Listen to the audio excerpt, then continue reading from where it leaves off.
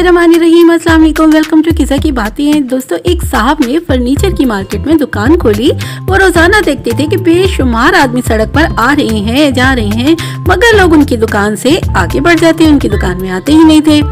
एक रोज वो कपड़ा खरीदने के लिए कपड़े की मार्केट में गए।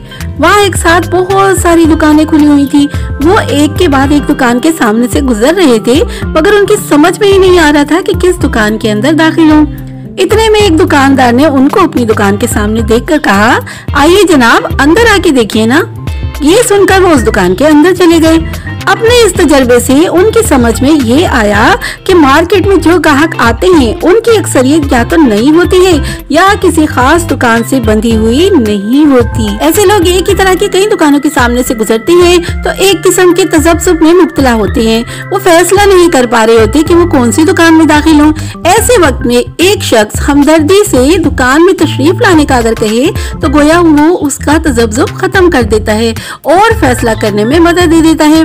ऐसा शख्स राहगीर को अपनी दुकान के अंदर बुलाने में कामयाब हो जाता है।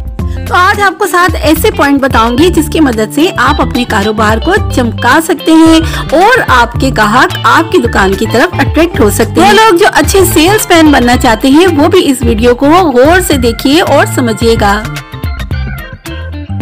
दोस्तों सबसे पहला पॉइंट ये है कि ग्राहक को उसका चेहरा देखकर समझने का फन सीख लें। बिल्कुल, बेशतर लोगों के जहन में पहले से कोई तयशुदा चीज़ मौजूद नहीं होती। इस असूल को उन साहब ने अपनी दुकान में इस्तेमाल करना शुरू किया। वो अपनी दुकान के बैरूनी हिस्से में बैठकर हर आने जाने वाले के चेहरे को पढ़ते थे। यहाँ तक कि उनकी नज़र इतनी पक्की हो गई कि वो किसी आदमी को देखकर फ़ौरन पहचान लेते थे कि ये ग्राहक है या किसी और मकसद से सड़क पर फिर रहा है। जिसके मुतालिक वो अंदाज़ा करते कि वो वाकई खरीदना चाहता है। उसको फौरी तौर पर आवाज़ से मुतवजो करते और अपनी दुकान के अंदर बुलाते। इस तरह उनकी दुकानदारी अचानक काफ़ी बढ़ गई। यहाँ तक कि वो बाज़ार में सबसे ज़्यादा फरोख्त करने वाले दुकानदार बन गए। हालाँकि इस सड़क पर फर्नीचर की और भी बहुत सारी दुकानें मौजूद थी। दूसरा पॉइंट ये है कि ग्राहक और दुकानदार के ताल्लुक को समझना चाहिए। इंसानी ज़िंदगी में कई ऐसे मकाम आते हैं जहाँ वो एक लफ्ज जबान से अदा किए बगैर अपने जिसम और रवैयों बर्ताव से अपना पैगाम भेज देता है, जिसको हम बॉडी लैंग्वेज भी कहते हैं। इन रवैयों और बर्ताव से लोग अंदाज़ा कायम कर लेते हैं कि वो क्या कहना चाहता है क्या करना चाहता है। ग्राहक और दुकानदार का ताल्लुक भी ऐसा ही होता है इसको समझना माहिरीन नफ्सियात ने बहुत से पेशावर सेल्समैन और दुकानदारों से गैर लफ्जी गुफ्तगु यानी बॉडी लैंग्वेज के मुतालिक बात की तो अक्सर ने बताया कि वो खरीदार के दुकान में दाखिल होने बैठने देखने के अंदाज और जिस्मानी इशारों से ही समझ जाते हैं कि ग्राहक को आखिर चाहिए क्या। तीसरा पॉइंट ये है दोस्तों कि चलो इसे छोड़ो और कोई और चीज़ देखने वाला माहौल पैदा करना सीखें। एक खरीदार दुकान पर आता है। दुकानदार बार बार ग्राहक को कायल करने की कोशिश करता है। इसका ये अंदाज ग्राहक को मजीद शक में डाल सकता है और वो कोई खरीदारी किए बगैर दुकान से बाहर चला जाता है। बजाय इसके कि दुकानदार अपने रवैये को बदले और किसी और चीज़ की तरफ़ ग्राहक का जहन, उसकी दिलचस्पी को मरकूज कराए।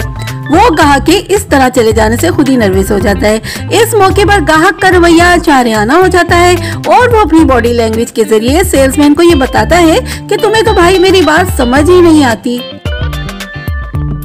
चौथा पॉइंट ये है दोस्तों कि माइक्रोसॉफ्ट के बानी बिल गेट्स का कहना है कि तुम्हारे बहुत से नाराज़ कहा कि तुम्हारे लिए सीखने का बहुत बड़ा ज़रिया है। आप सीखे कि अगर कोई ग्राहक आपसे खरीदारी किए बगैर आपकी दुकान से चला गया तो उसके पीछे क्या क्या वजूहत थी।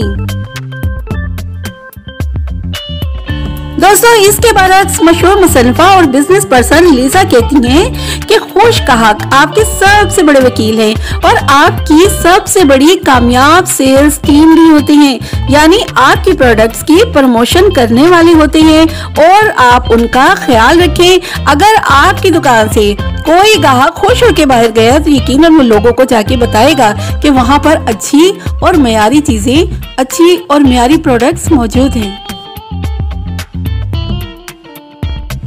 छठा पॉइंट ये है दोस्तों कि एंट्री ने लड़कपन में दो सेंट फ़ी घंटा के हिसाब से काम करना शुरू किया और बाद करोड़ों डॉलर का मालिक भी बन गया।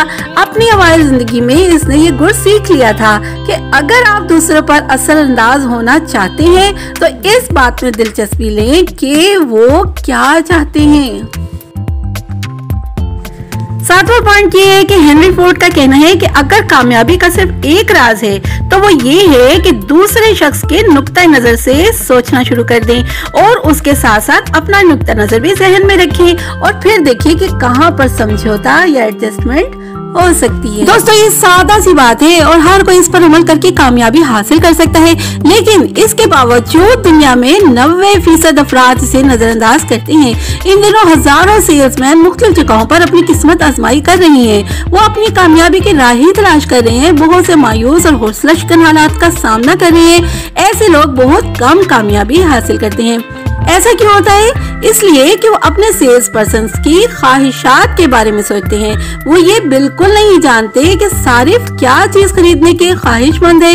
अगर आप सिर्फ़ एक बात समझ जाएँ कि हमेशा दूसरों के जहनों को समझकर उनसे मुखातिब हो और चीज़ों को उनके नुकता नज़र के मुताबिक समझे तो ये आपकी ज़िंदगी और करियर में बेहद मददगार साबित होगा। तो आज की वीडियो आपको कैसी लगी? कमेंट करके ज़रूर बताइएगा। वीडियो पसंद आए तो लाइक कीजिएगा शेयर कीजिएगा और मेरे चैनल को सब्सक्राइब किए बगैर बिल्कुल नहीं जाइएगा। अल्लाह हाफिज।